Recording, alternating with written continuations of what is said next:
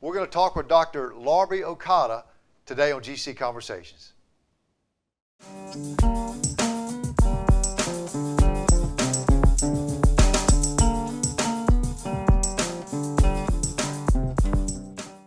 Hello, welcome to GC Conversations, a show where each week we bring in faculty, staff, alumni, and friends, and we talk all things Georgia College. I'm your host, Wendell Staten, and thank you for joining us today right here on MBC TV4 and also WRGC 88.3 FM, our NPR affiliate right here on our Georgia College campus. So, folks, we got a real treat for you today, and for those of you listening out there, Dr. Larbi Oukada, uh, who is the chair of our Department of Modern Languages and Cultures. Cultures. And, uh, uh, and and we actually just met recently, and, and, and, and I found out that you participated in the 1968 Summer Olympics. That's correct. And so you were one of our favorite faculty members uh, that from our student athletes. And so I thought, wow, what an interesting story to talk about. And, and I want to get to the 68 Olympics in a minute.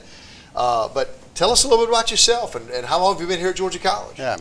Well, first, thank you for inviting me, and uh, I am anxious also to know a little bit about athletics Yeah. at Georgia College. I arrived here about 18 months ago, so a year and a half, and uh, came from Indiana. Okay, so you were at And the I- University in Indiana. Uh, I was at Indiana University, Purdue Yep. uh, University at Indianapolis. right. Uh, IUPUI, That's believe what they correct. That-. Yeah. That's correct. That's correct. Uh, And, uh, uh, and then so, uh, but you're not originally, uh, you're from Morocco, that's correct. Believe, right? So, Mm-hmm. so how did you uh, uh, matriculate to the United States uh, Well, in general? actually, it was thanks to athletics. Okay. I was uh, at an event called European Cross Country in Ostend, uh, Belgium, and in, I, I placed uh, fourth in European Championship for juniors. And I was sitting in an honor table with the U.S. Uh, cross country coach and we proceeded to talk in my very, very then broken English. Right. Uh, during which, uh, during the conversation, the coach invited me to join his varsity team, and Huh. that's what got started. Otherwise, uh, And this was this was when at 19 what? this was in 1967. Okay, and so so you were uh, coming over here for college or for high school or what? How did No. he, what do you want you to join? Uh, a, a college. It was a, Okay. a college in western Kansas called Fort Hays Yeah. Kansas State College, and it was a premier college in running uh, in the NAIA uh, Right. division. Yeah, yeah, uh, Fort Hays State. that, uh, uh, yeah. yeah. Okay, Uh, so so so uh, so you came to the United States for college. That yes, Uh, on, on, on a on a track and field scholarship. Right. Yes. Okay. All right. And then uh, so when you got here, uh, have you stayed here in the United States, or did you go back and forth to Morocco over the years in your career, or have you pretty much been in the United States? Well, as you know, uh, destiny, it's usually not planned. So one event led to another. I got married, had children, and decided to stay in the U.S. Okay. And, uh, but we do visit Morocco on a frequent basis. Well, that's an interesting story in that, that here you are in Europe, running as a as a as a as a, as a young man, and and you just happen to be sitting at a table, Absolutely. and then the rest of your life Yes. is, is based on you know that conversation. That's Yes. really neat. I always maintain that life is just a series of incidents, Yeah. and that was a fortunate incident for me. Yeah, very Yeah, very neat. yeah, yeah. Yeah. So so in '67, uh, you go you come to the United States, and and uh, as you said, you didn't you you're, probably didn't your English wasn't great at that time. Uh, and now I know you're. Al- almost non-existent. Okay, okay, all right. So, so tell I- us about that. Uh, uh, now you had done some traveling because Yeah. you were in Europe, but but so you leave Morocco and you come to the United States, not knowing anyone probably other than that one person. Yeah, yeah. How, how'd that work out? That Well, go? before I do that, Yeah, let me yeah. just share with you Please. the level of my linguistic proficiency in 1967 when it came to English language. I honestly thought that Little Richard's song, where he says wapab, lumab, lapab, I thought he was saying some kind of English sentence with, oh, Okay. with words. and, and it's after I came to the U.S. and I was driving one day and I heard that song and it dawned on me Those were not words. That, that is the extent of my English knowledge. No, I think I was very fortunate to come to the U.S. and, and go to Kansas where I was really welcomed. In fact, I tell people in France and in Morocco, wherever I go, one of the virtues in the U.S. is that you don't feel like a foreigner. Mm -hmm. And I felt at home, uh, was welcomed by my teammates, and I had a really a wonderful experience during which I quickly acquired the ability to at least function using right. English and, and certainly in the classroom. So it was a, a, wonderful experience, certainly from an academic point of view, but it was also a wonderful opportunity to train very seriously right. and, and, and, and to grow uh, in, in athletics as well. I want to I want to switch gears real quick tell us a little bit about Morocco for our folks who aren't familiar with Morocco. Its location, its its uh, population, all those types of things. Yeah. I always tell people that Morocco is an exotic place because when I go to Morocco, I seem like not not only I'm traveling in space from one place to another, but I'm also traveling in time. Uh, you see a lot of things that uh, perhaps existed since the Renaissance time. So in that way, it's a fascinating place to visit uh, because the culture is drastically unique, mm -hmm. uh, diversified, uh, and offers a lot uh, for visitors. So I certainly encourage people to consider Morocco as a place to visit. What's the population there? Morocco, Morocco is a, a kingdom. Uh, there's a king, and it has a population of 35 uh, million people, and it consists largely, largely of two major ethnic groups. One, the Arabs that came in the seventh century to spread Islam to this part of the world, and the other ethnic group is the early inhabitants of Morocco called Berbers. Okay. And they trace back their origin uh, to Europe. And they speak a very unique and different language called Berber. And what are, would be some of the major economies of Morocco? Morocco leans heavily on tourism as a source for revenues, and, and again, because it has mountains, it has beautiful beaches, uh, it has, a, you know, a, a diverse uh, artistic uh, manifestation in pottery, in rug making, and in jewelry, for instance. Uh, uh, so it has a lot to, uh, a, beautiful weather too, uh, a wonderful cuisine. So it, it uh, attracts about 7 million tourists a year. Wow. So that's a major uh, revenue for Moroccan. It's also uh, the number one producer of phosphate. Okay. And it has really a vibrant economic activity at the moment. So it's very interesting. Yeah. We're up against our first break, sure. and uh, so we're going to come back with Dr. Larbi Oukada. I'm Wendell Staten. We'll be right back on GC Conversations.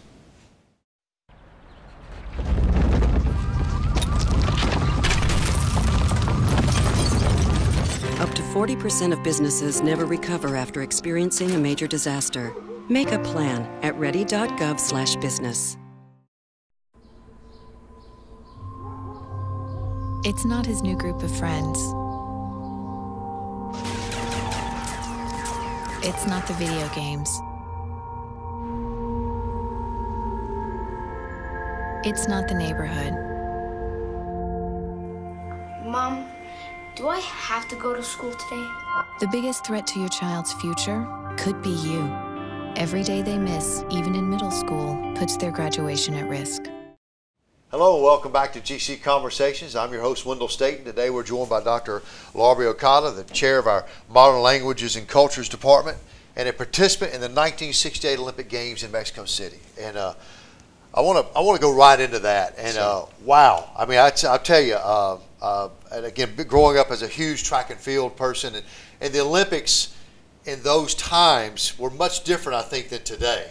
Uh, but uh, uh, I mean, it's a real privilege to get to talk to someone who was who was participating in that. So, tell me about the Olympics in Mexico City, and and when I think of the Mexico City Olympics, you think of uh, a number of things. The, the, altitude was one thing. The Bob Beamon jump, the uh, uh, the, the, Tommie Smith, the glove demonstration.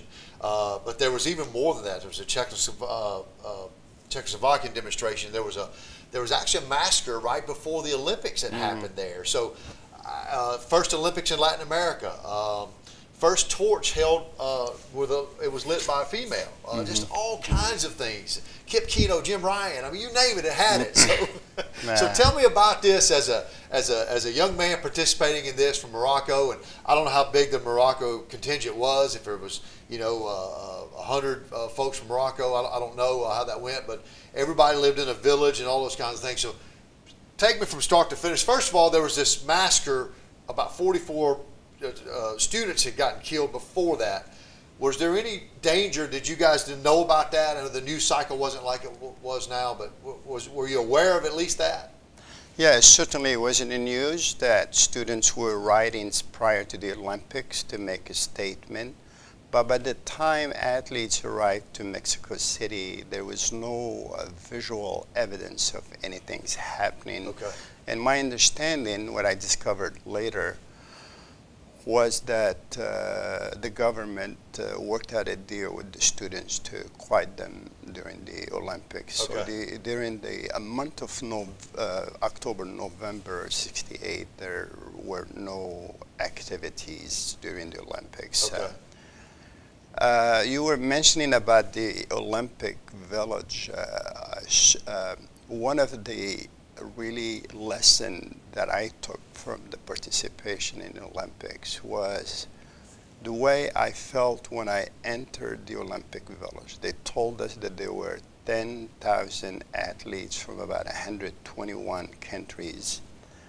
And walking to that place, seeing people that speak different languages coming from totally different ethnic groups, coming from totally different government system, yet get along so yeah. beautifully. It made me really think that peace and harmony are possible in the world. I still firmly believe that today, based on really witnessing people coming from different part of the world right. that shared this planet, that uh, we're brothers and sisters.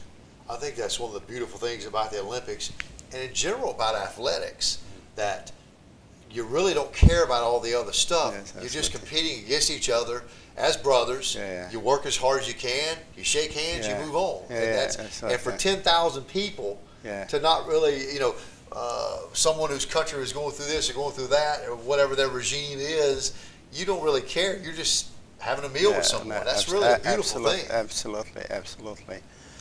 And uh, you were talking about there were some uh, great moments during that Olympics, and in some kind of odd way about destiny, I was really present in a lot of them. Bob Beamon jump that you mentioned, I was about 25 yards away from that jump when he made it, and all of us there realized that there was something huge and big. And just 10 minutes later, actually started raining. Uh, so he just had that moment where he made the jump. The same thing about uh, John Carlos and Tommie Smith uh, after running the 200. Uh, raised their fist to, right. with a glove as a, making a, a really a political statement. Uh, and it was such a, a, big event that I personally forgot that there was a second person in the race that placed second and that person was white, and that person was from Australia, which is not known for producing sprinters. Right. But uh, uh, for many, many years, I had in my office a poster of that, huh. that picture there with that Tommie uh, Smith and John Carlos uh, raising their fist. And at that time, uh, I don't, and again, not being there, obviously, uh, um, I was one at the time, but but was it? Were you aware that were the athletes aware that this is a big statement and what was going on in, uh, in the United States and with race relations? Was that I think we were we were aware of racial situations in the U.S. I, I personally, when I saw that, I didn't understand what it was Right. and was the purpose. Later on, obviously, people were talking about it, uh, and I came to appreciate it as athletes has also have also uh, or need to participate in our society and make statements when that's feasible and possible. And I've seen these two guys, even to this day, as two brave athletes that uh, wanted to make a statement and uh, and did make a statement Right. a- at at a price because both of them paid prices in in being shunned away from from the athletic organizations. Sure. No, I, I, think you, you, bring up a very interesting point, which would be a, a topic we could talk about for hours, but you go back to Cassius Clay and, and, and, and, and, and, and um, uh, later be Muhammad Ali and, and his stance against being drafted and serving in the, in the war. Uh, but, but you are right. Uh, sometimes athletes who have this platform Absolutely. or maybe don't want to do that because they don't want to be alienated. Uh, Yeah, I go back to, you know, yeah. uh, Michael Jordan a few years ago had said, well, uh, they want him to endorse a particular candidate, and he said, well, uh, all candidates buy my sneakers. You know, all people, you know, so all parties buy my sneakers. So a lot of people are a little bit scared to do that, but uh, that was a very interesting Yeah, yeah, statement. so I, right. I hear a lot of social things, and at the Olympics, it's almost always there's some of these controversies or uh, you know statements or, or whatever. Uh, it's a very interesting, Yeah, but again, like you said, in the village. Oh, I'm sorry, it's Well, just that- uh, cell phone Yeah, I forgot to. Forgot to tell you to turn it off before we got started. And this is my son calling from uh, Phoenix. I'll turn it off. Sorry about that. Hey, it's live TV, folks. That happens. Yes. So, uh, but inside the athletes' village, you really don't get a, you know, you don't get all the, and that's the neat thing I think of the story that you're telling is that people get along. Yes, You know, oh, I, absolutely, absolutely. There, there were obviously some transformation at that time, as you know very well. Sports was very amateurish, Right. And you did it for the sake of sport. Today, it's a little bit uh, uh, integrated with a business Yes. outlook Yes. to it, you know. Yes. So, Yeah. And uh, so that that's. Uh, in fact, when I think about the, uh, th- you were earlier on talking about Morocco and how they stand uh, in terms of running.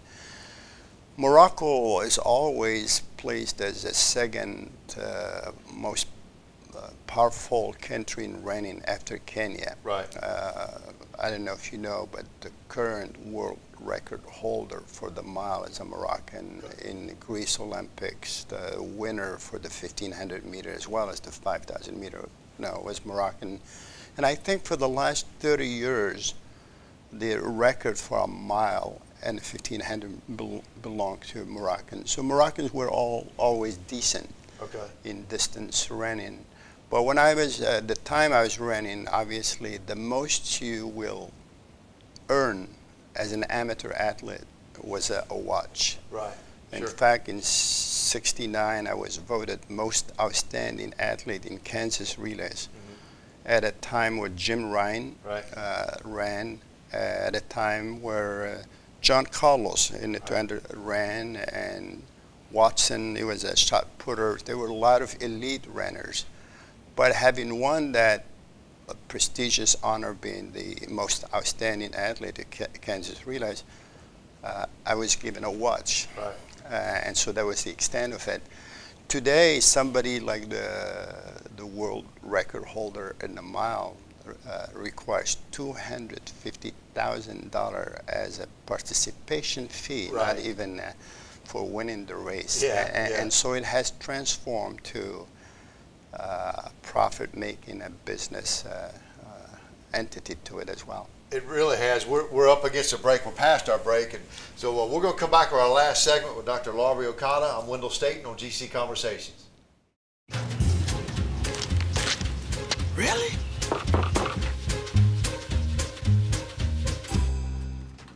Buzz, what's up, man? You left some leaves burning out here. Yeah, I, I just I, there was a I had just came in just for a second. Come on, man. If it's too hot to touch, it's too hot to leave. You could torch the whole neighborhood. It's a good point there, Smo. Key. Nine out of 10 wildfires are caused by humans. Only you can prevent wildfires.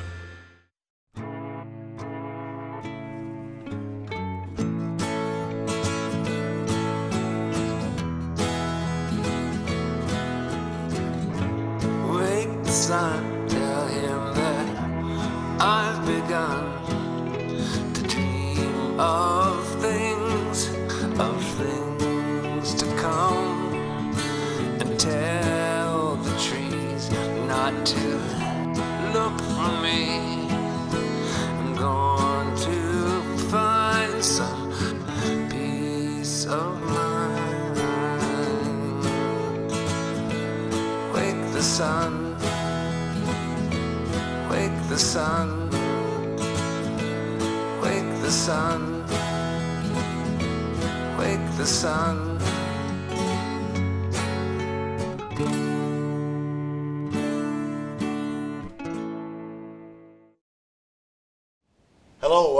To GC Conversations. For our last segment with Dr. Larbi, o- Larbi Oukada, I'm Wendell Staten, and, and uh, we left off talking about, uh, again, about the six day Olympics and running, and Morocco uh, has, has had this long line of distance runners. Let's talk about that first of all.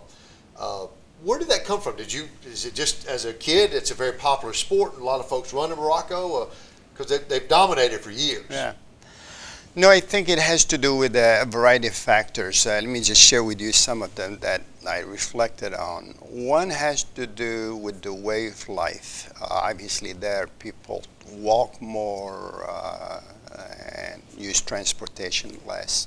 A second one really has to do with the quality of food one's eat there. Obviously, mom, uh, bless her soul, uh, she prepared fresh uh, food. So if you combine a way of life that uh, is more athletic in nature Okay. by walking, and as kid we used to be involved in all kind of outdoor activities, not not so much organized outdoor Right. activity, but just that uh, in the neighborhood.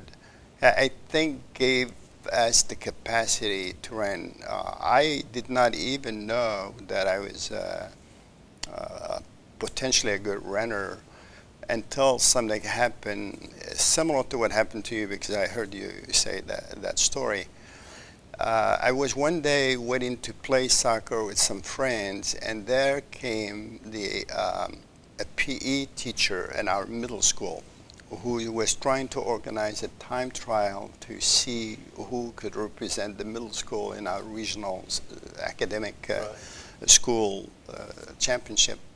And he said, hey, Larbi, why don't you come join us? And since we were just waiting for somebody to bring the ball, I said, why not? I end up winning that race. I end up also winning the national scholastic championship for Morocco and discovered that I was a natural runner. But when I reflected on the why, and that was your question, I literally, literally walked somewhere around eight miles to go to school on Okay. a daily basis. So Wow. eight miles going one way, eight miles going the other.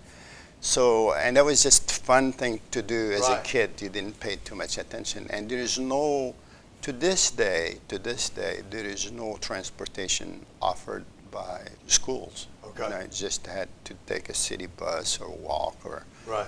And things. So the way of life, I think, Okay. contribute to that capacity, have bigger lungs or better cardiovascular system Right. that w- will make you a natural runner. Well, I um, I hear you saying um, again a more maybe a more active lifestyle, uh, diet, uh, a little bit different as well. But a lot of the, it's, it's it's very interesting. Again, you talk about a series of incidents. How this one Yeah. PE teacher, and the Yeah. next thing you know. Uh, uh, a few years later, you're in the Olympics. Uh, Yeah. let, us talk about. I want to go back to the uh, Mexico City because the altitude. You're at high altitude in Mexico City, which was not good for the distance runners Hmm. uh, at that time. And you ran in the in Olympics a uh, 3,000 meter steeplechase. Right. Uh, did you notice that when you got to Mexico City? You're running. Did you breathe differently? I'm telling you, it's painful. you know, in running, we, we accept the fact that it's going to be pain associated with running, but, but the altitude Uh, gives you a burning sensation, like something is burning inside your lungs, Okay. a- a- and it is. And fortunately for the Moroccan delegation, we spent uh, two weeks in the Pyrenees between France and uh, Spain as a way to train in the altitude and get your body acclimated to uh, to to. But that's not enough. You need to do it more than two months to, Okay. to get your body used to that kind of uh, thin air Right, in, in, right. in the Mexico altitude.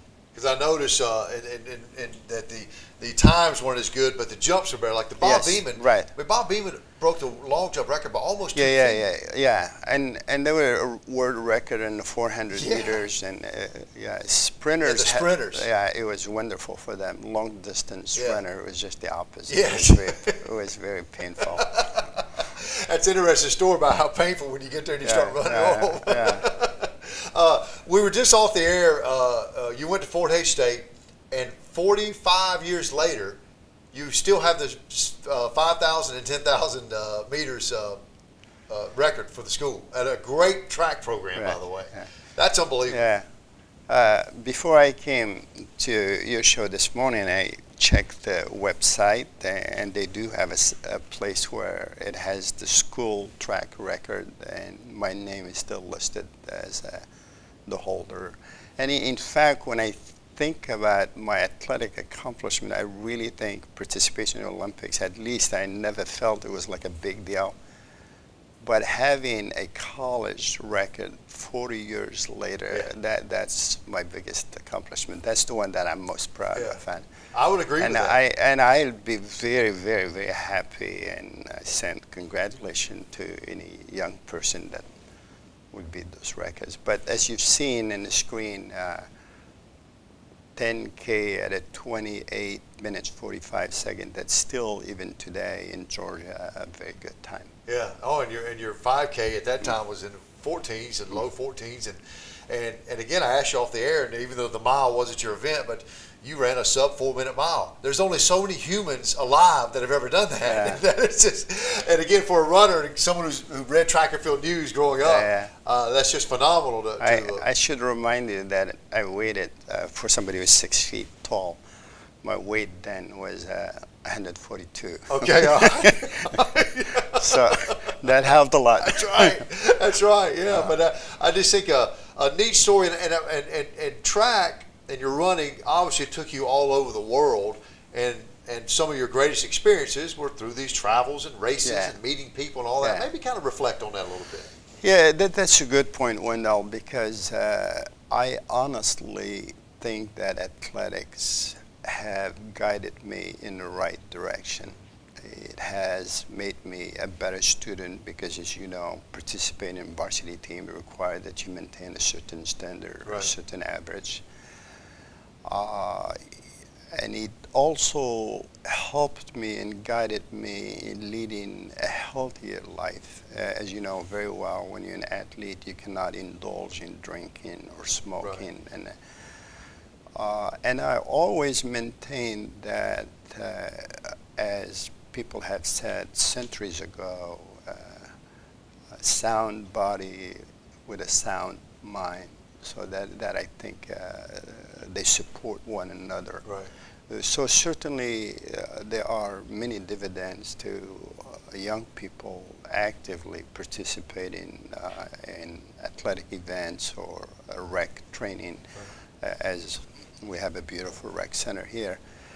Um, uh, because the dividend uh, are not just uh, immediate uh, as one feels good, but also as a preparation for being in good health later on Right. in life. Absolutely, So, uh, yeah. yeah, all around, uh, I cannot uh, stress enough Yeah. how important for anyone to be athletically active. All those miles that you have covered over your years will continue to benefit you from a health perspective. Absolutely, years later. Yeah, Absolutely. Yeah, yeah. yeah. We, we are out of time, and So- I could talk for another six hours, but it has been a real treat, and I appreciate you it's being uh, here. my pleasure. Yeah, so for Dr. Larbi Oukada, Oukada, excuse me, I'm Wendell Staten. Thanks for joining us on GC Conversations.